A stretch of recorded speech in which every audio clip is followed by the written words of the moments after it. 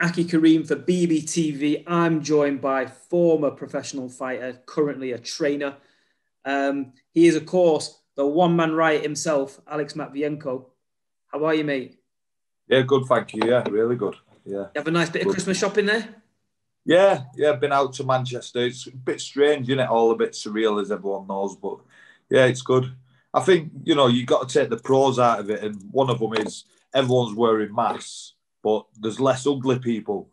So, you know, people can blend in. I'm different, obviously. People want to see me. I'm a DILF, but. You, you know, are definitely a DILF, yeah. we should actually call this video the two DILFs because, to be fair, Battle of the. Yeah. I wanted to catch up with you, mate, because obviously you are um, in. There's not many people better positioned um, to speak about this issue. Uh, the other night we saw um, Martin Murray in a, in a, in a, in a world title shot against uh, Billy Joe Saunders. It was kind of an emotional night after the fight as well. Obviously, he was beaten um, on points by Billy Joe, but man, what a tough guy! But he, it was emotional, and you said to me uh, something like it was a bit like an end of an era sort of feel about it. What what did you mean by that?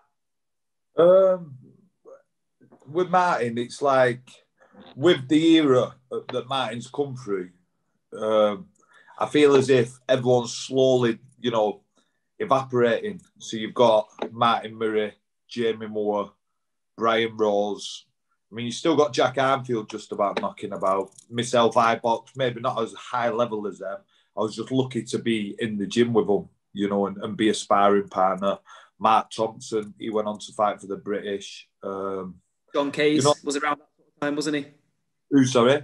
John Case was around at that sort. Yeah. No one. Yeah, he had a good amateur career. for Derry Matthews. Um, he, he, used to box for Louvalite and then turned professional. Yeah, he was on the VIP stable, and I feel like everyone's sort of disappearing, putting a little bit of weight on and so on. no, but everyone's retiring, yeah, and um, it's it's a sort of new era now. We're seeing the likes of Lyndon Arthur, Zelfa. These were kids I remember Pat used walking the show with, and Zelfa's about 15 years old. And then as the years go on, you know, he fought one of my lads actually in the championships a few years ago. I had a good kid, yeah. And uh, you see him coming through the amateurs, and, and now they're the big names, aren't they? So if Zelfa walks in my gym and one of his, his mates are sparring, everyone's like, Zelfa Barrett, Zelfa Barrett. But a few years ago, it used to be Martin Murray or, you know, and all the all the older era now, they're all sort of dropping off. And now we're sort of seeing this new uh, this new era of boxing, as as we heard when Mike Tyson was fighting. That's what we heard on the commentary, didn't we? It's a new era of boxing. That's I just that's feel it. like when he beat Berbick, yeah. yeah, yeah. Uh, going back to Martin's pro career, I mean, you mentioned this this this era that you was in. I think he turned over in like 2007, and actually he turned over on a bill in Wigan that you were you was actually on the card as well. So. No, no, no. On my undercard. sorry, yeah, that's what I meant to say. Yeah, but, yeah, it was a Steve Wood show. We fought um, a tough kid, uh, a tough Welsh fella, Jamie. Um, Ambler. Jamie Ambler, I, I think. Well, I fought Nigel, Nigel Travis fought him really tough, man. Fought Tony Bell, you, Paul Smith, and that. So he fought Jamie Ambler, yeah, yeah. So uh, that was a Steve Wood bill. Yeah, I think Gomez may have been on the undercard as well. Another one. So yeah. you've got the, the old era Gomez, McDonough, Matty Hall, you know, Michael Jennings. You know, it was a great era in boxing, but sadly, it's sort of going and watching Martin at 38 still going for his world title shot, which a lot of us believe, you know, it should have been his second title shot, or even with, you know, you could say maybe the Sturm as well, the third title shot, third title win. Yeah. But he's still going for it and unfortunately fell short. Yeah, but yeah, 2007 if I remember rightly, he went in prize fight the same. Was it the same year? Or I think it might after? be the same year or the year after. I think it was the year after, actually. Yeah, yeah, yeah. So yeah, good times. Yeah, because I think he hit his hand in his second fight, so he had a little little bit of time out as well. Yeah, yeah.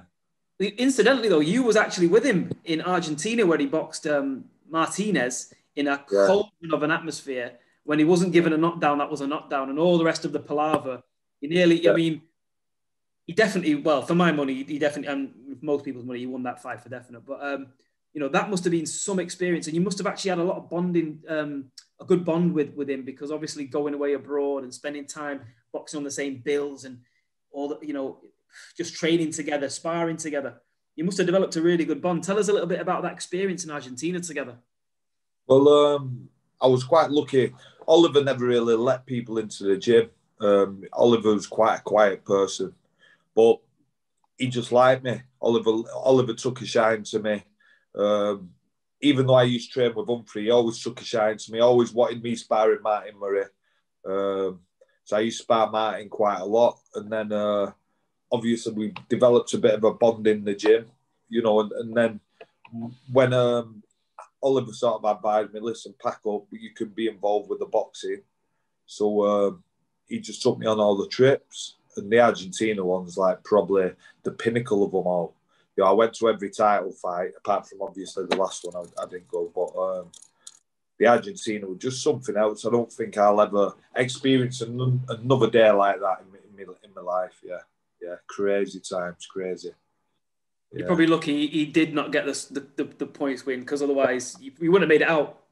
I always said it. I always said I felt like if we won, there was a riot pretty much anyway afterwards, but it was like a sort of healthy, joy, joyful riot. Had there been a decision lost, I think we'd have, we'd have been gone. It's sort of like a third world country, and I remember there was a the front few rows were just full of guys who looked pretty intimidating. Um, and obviously they were intimidated by me. But you know, obviously, they look pretty intimidating, and we've come in with like loads of lollipop men, you know, huddled round us, taking us through this sixty thousand crazy Boca Junior fans, you know, screaming, spitting, and Martin and Oliver just looked like they just didn't even notice it. Martin saw tunnel vision, but I'm like thinking, what the fucking nappy's coming over and all sorts.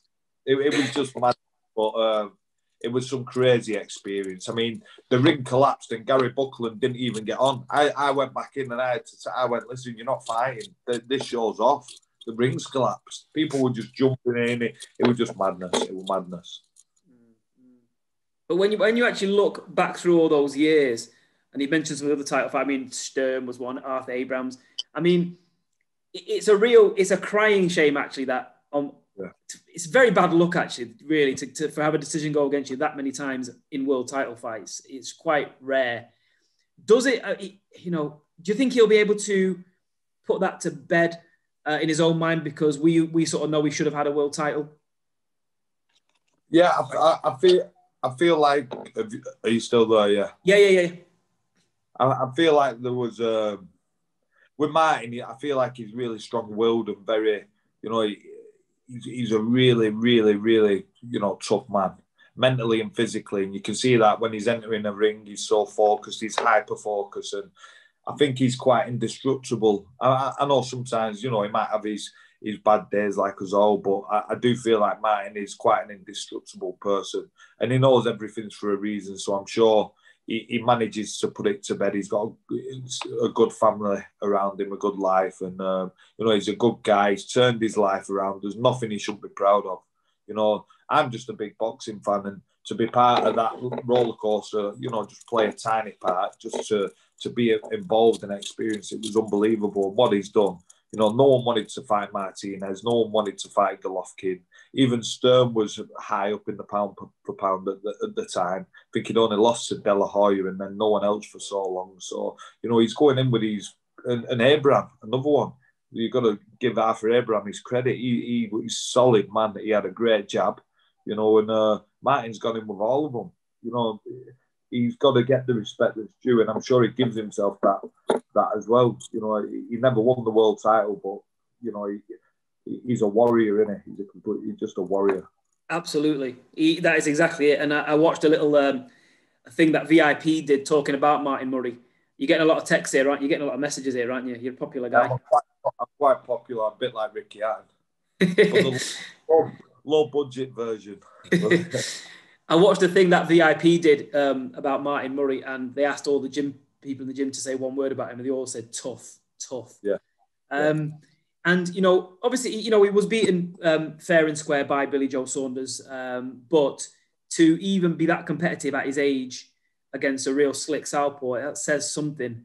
Um, yeah. And he bowed out with a lot of grace because the outpouring on social media, yeah, okay, obviously Billy Joe done well to, to win the fight, but it was really a, kind of like a tribute to Martin Murray that night. You said so yourself. So were you were you proud to see that dedication to Martin Murray and respect after that fight?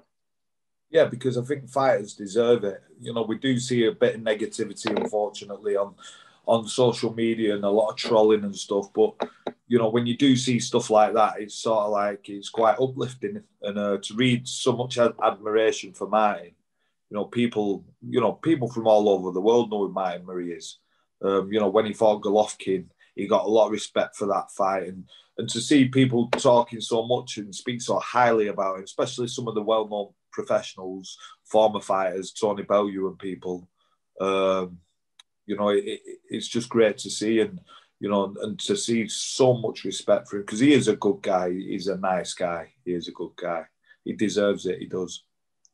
And and you know, you mentioned uh, the the great Oliver Harrison there, R.I.P. You mentioned him there, and you know, at one point, I think it was 2005. Actually, the, the gym was on the brink of being shut down, and it, an important point was made that um, you know he, he, he was not just a trainer.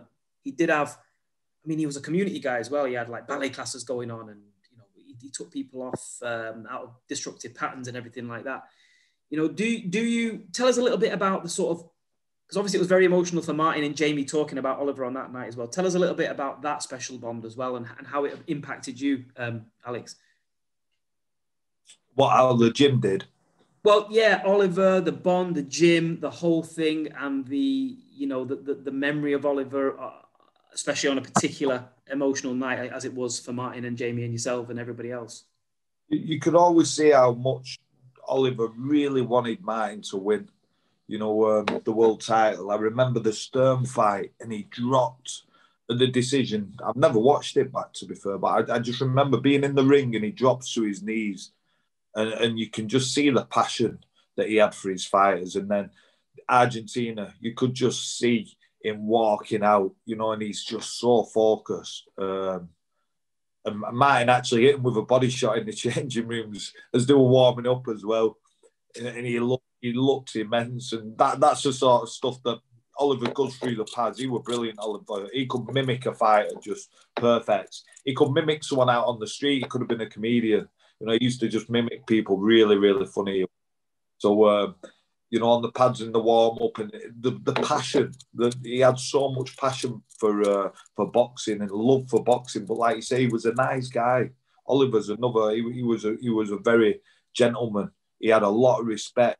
You know, he, he was a very well known fighter as well in the Thai boxing community. He was massive, and I, I know quite a lot of the old school Thai boxers, and they all spoke very highly of him. Um, so Oliver could have walked around with a bit of an attitude if he wanted to. You know, and he says that he, he used to say that sometimes. He'd say, you know, I could act differently, you know, when he'd be angry about something.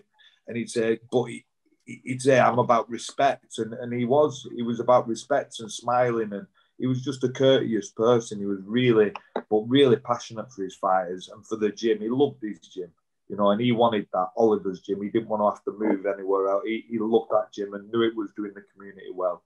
And, um, he just he was just really passionate about it. He was passionate about boxing. He loved boxing. He lived for it.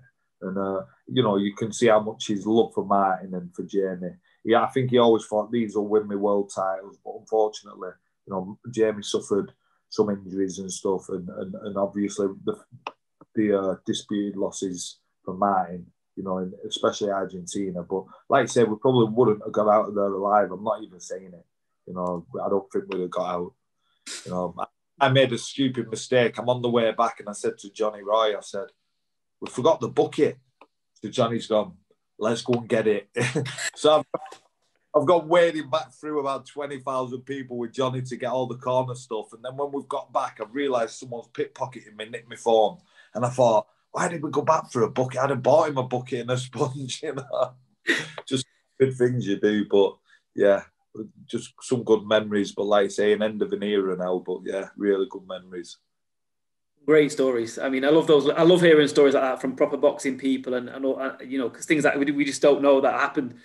And um, you you mentioned there like end of an era, but you know, you, of course you have got your own gym now. Um, um, and you know you've got your own crop of fighters, and obviously what Oliver replicated, great great trainers like Oliver, great community guys like him, and um, Phil Martin, and, and you know just great guys like that.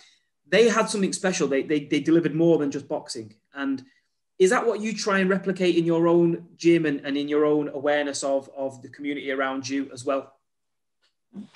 Um, it's strange, isn't it? I, I, look at Oliver definitely as a mentor, but I also do look at other coaches. I, I'm, I'm really big on Brendan Ingle, and I feel like what he did in that community was just something else, and he did it with boxing. Obviously, not just boxing, um, but he used boxing as a sort of you know, opening for, for people. There, there, would have been people who went through that door and never boxed, who who sort of uh, benefited from being around Brendan. And um, I always look at Brendan as well. But funnily, coincidentally enough, Oliver always said to me, if I could do it again, I'd have gone to Sheffield and boxed for Brendan Ingle. He loved that style, and he always said that. But I don't think it's just about the boxing, is it? It's just people like that are great people, and they, they leave a footprint in your life, and you you remember stuff, and they do so much for the community. You know, it, it's massive. So yeah, definitely a good good role models, aren't they?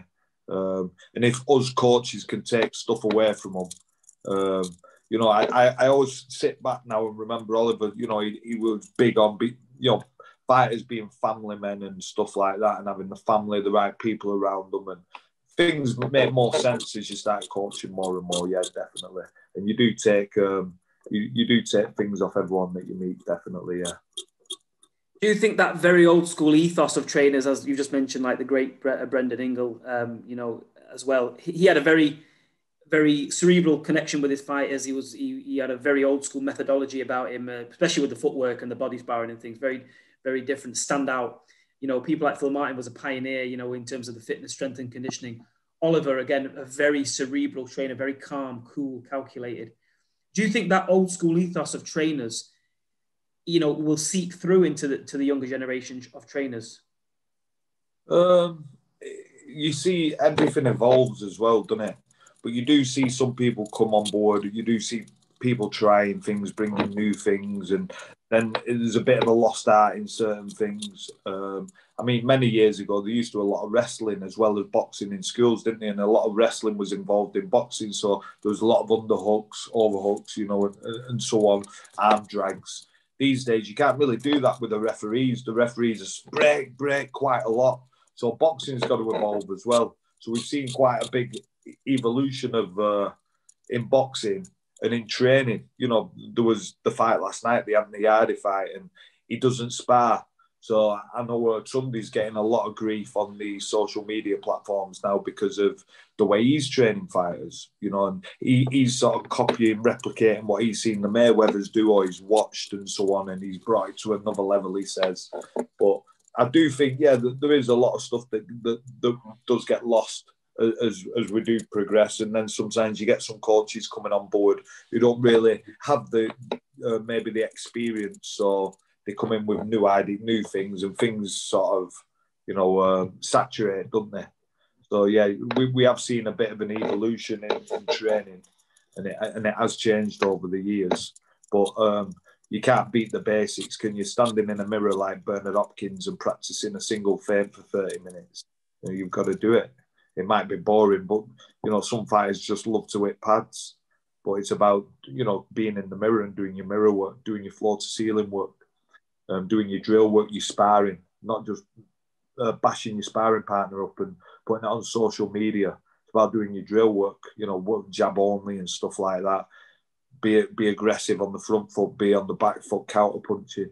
Um, you know, there, there is a, there's a lot that we probably have lost over the years, unfortunately, as we lose great coaches and we get new eras and new eras. And unfortunately, Oliver was one of them great coaches when his ta- tactical awareness was brilliant. You know, great technician, really good. So it, it was just a pleasure to be in the room while he were warming fighters or while he was training fighters. It, it was just great. Yeah, yeah. And uh, you know, you, you've mentioned your some of the names from your your era. Have you seen fighters change? Because obviously we've had this massive thing that wasn't around much in your day, which is social media and like the Instagram and all the rest of it. do you think that has actually changed the the face of of fighters themselves? As in which way do you mean? Well, what do you think? I mean, obviously, when you was a boxer, an active boxer, there wasn't like Instagram, there wasn't all that social media type of um, promotion and, and self promotion and uh, yeah. everything like that. Do, do you think the fighters themselves are changing? Do yeah, you think definitely. social media has diluted fighters, or do you think it's actually helped fighters to promote themselves? Pros and cons to it, like there is everything. So I think um, it's a better way for fighters to market themselves. It's a better way for fighters to call people out. I mean, I'm not much into calling fighters out, um, but I think it puts you on in a better position to call fighters out. Uh, fighters with a bit more character are definitely getting out there more. Um, so yeah, you know, you've got your pros of it. Definitely, fighters are getting big fights on the back ends of it. Managers are doing a lot more calling out and, and promoters and stuff. There's a there's a lot more going on. It's quite interesting. The sport's booming, as Frank Warren said last night. But um, I do feel it has its detrimental effects. Definitely, yeah. Um, fighters are dead busy to show flashy pad work and stuff like that. I do feel like um, bo- boxing is really important to do your drill work, your skill work to do your, you know, your simple drills every day. Um, and then some people, I've had people come to my gym and say, and I'll say, why, why do you want to leave your old coach? And they'll say, well, I don't get pads enough. you know, I don't get enough pads. But Eddie Futch and well, I was chatting to Sugar Hill the other week, and he was saying like, you know, pads, you pads were weren't really a big thing in the Kronk. It was more mm. drill work, stuff like that. So uh, I do think social media is changing the way that boxing looks. Definitely, definitely. It has pros and cons to it, but it helps the fighters become more marketable. And if the fighter's a character, like a Hector Camacho type guy, you know, social media is brilliant for them people, aren't they? Like Anthony Fowler, he, he, he loves the, the uh, social media platform and, it, and it plays well for him. He's got his CBD company that he, that he uh, sells a lot of CBD through, doesn't he?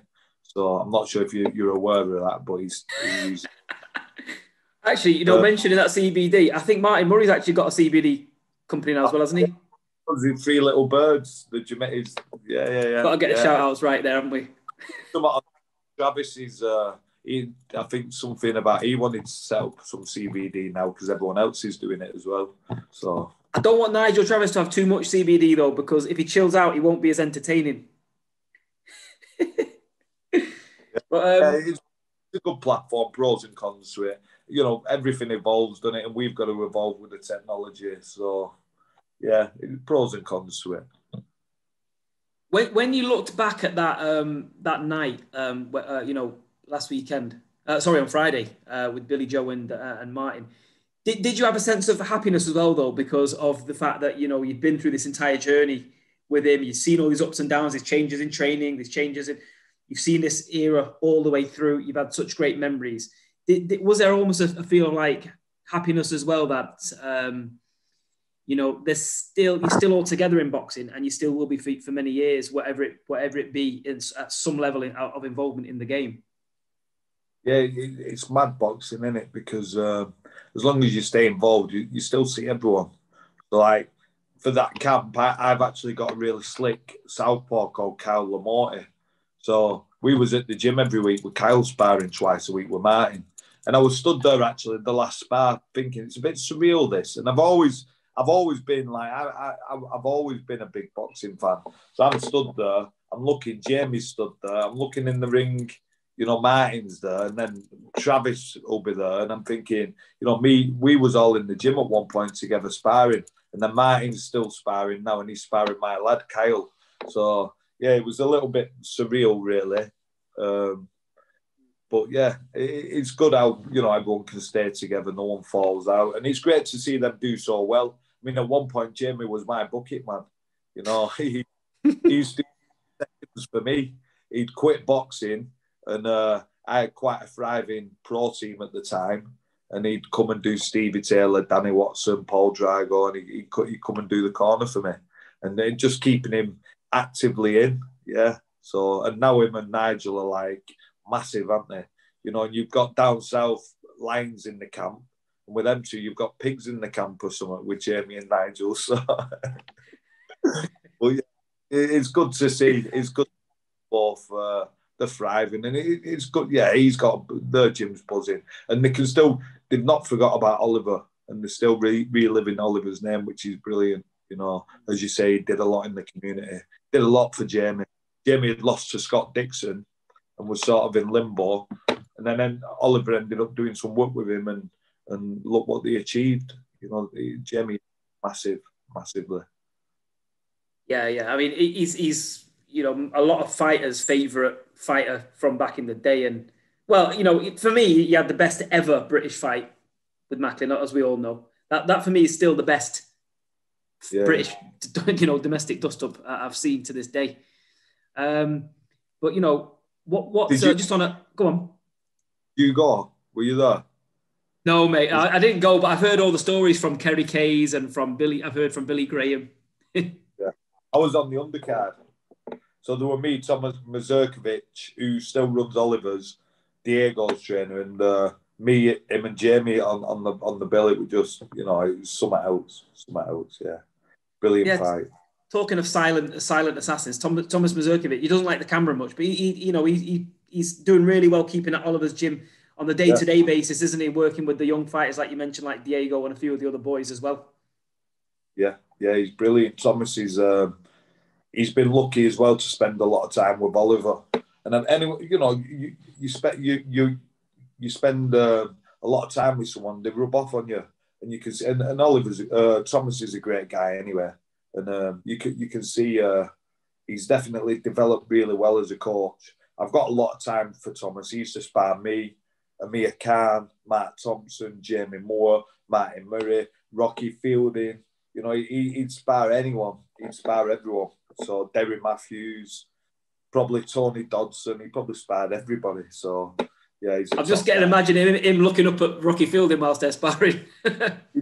oh, he did. Crazy. He was a top man.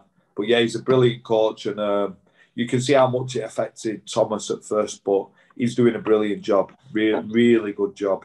And uh, they've got a thriving amateur team now, and it's good to see him doing well. Yeah. And and just finally, Alex, what what what about your own stable? You know, what about your stable? What about the boys?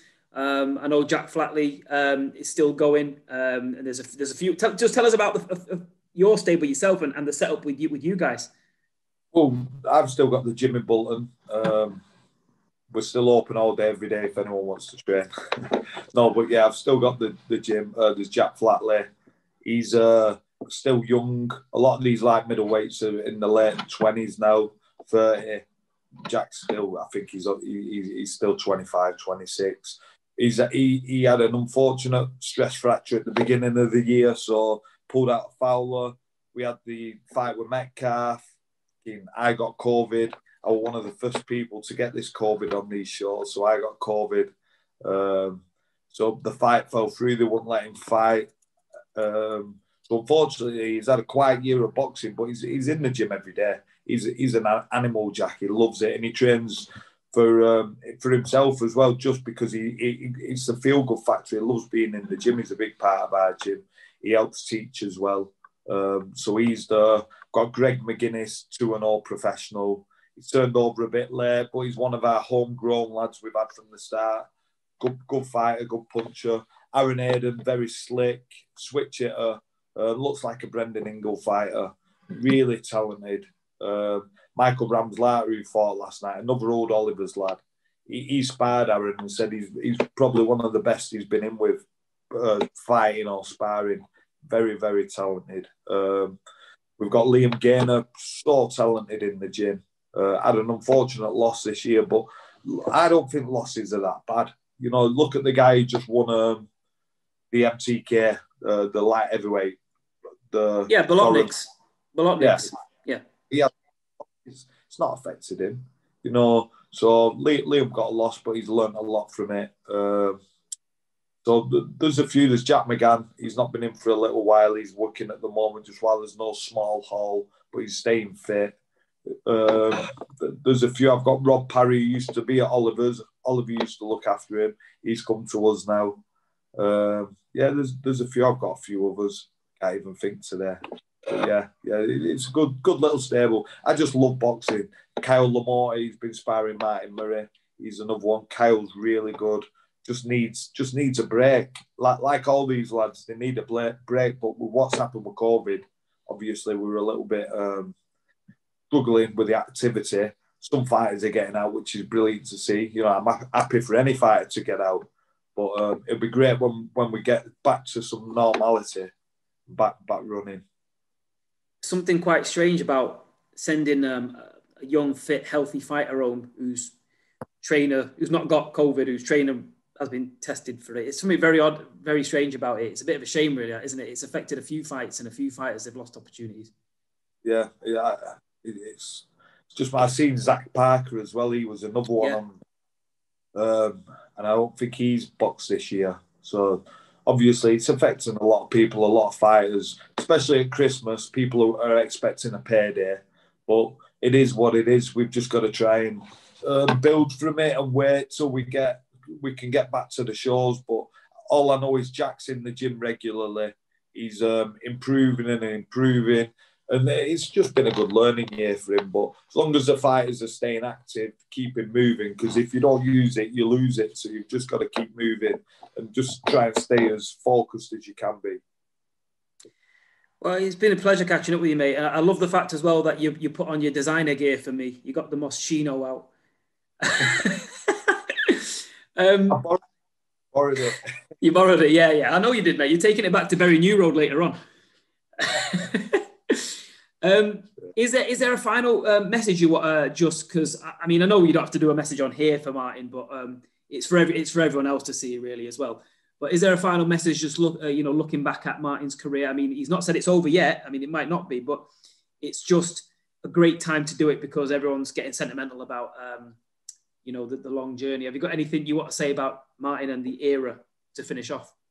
I just appreciate that Martin um, had me involved. I'm not saying I was the head coach or anything. I, I was just carrying the bucket. But Martin loves to spit a good greenie out in between rounds, and um, I was just I, I'm just very very fortunate, and I appreciate the good memories. You know, we had a lot of good memories. We used to spar I sparred a lot of rounds with Martin, um, and I really enjoyed them. Not many people enjoyed sparring Martin, but I actually did. I used to love sparring Martin, um, and he's such a good guy.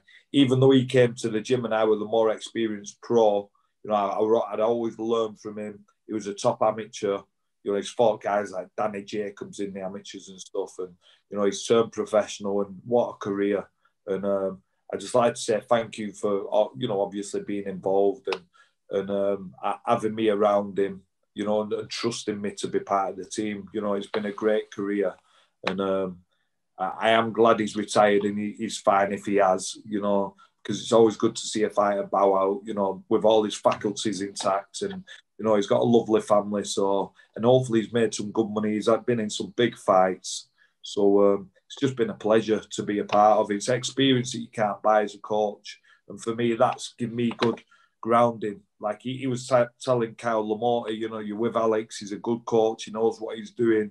But I wouldn't be in a position to be as confident as I am if I haven't spent all them years around Martin, traveling the world, you know, going to Golovkin in Monaco, being stood in the ring with Golovkin entering, and going to Martinez fighting Argentina, just massive opportunities that, you know, I'll never forget. I really appreciate. For, as a boxing fan, I'm just like you, I'm a big boxing fan. So uh, just unbelievable, unbelievable. But all good things come to a head, don't they? And but yeah, brilliant, brilliant time, and just hopefully he can enjoy himself now because boxing's a tough sport. So yeah. Amen. Great words there, um, mate. And uh, I appreciate you spending some time with me, getting on this, and uh, downloading the new Zoom app and everything which you never used before. So uh, I appreciate it, mate, and uh, I hope that everybody enjoys uh, a little look back here at this video that we've done. Oh, thank nice you. One. All right. See you later, mate. Thank Take you. care, mate. Top one, mate. Bye.